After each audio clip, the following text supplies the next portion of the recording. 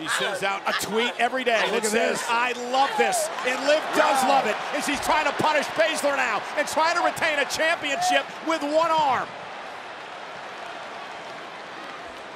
Baszler in a precarious position on the top.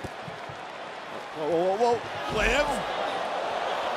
Oh, powerbomb for the win. Oh, Baszler to retain and Shayna kick. Kirifuda clutch. The Kirifuda. That is it. Kirifuda's in.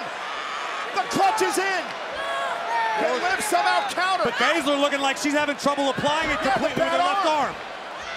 Now with a single arm armbar applied. Yeah, because remember the damage that was done by the armbar on Morgan earlier on. Shayna couldn't keep the Kirifuda clutch in. Morgan makes it to the rope and survives.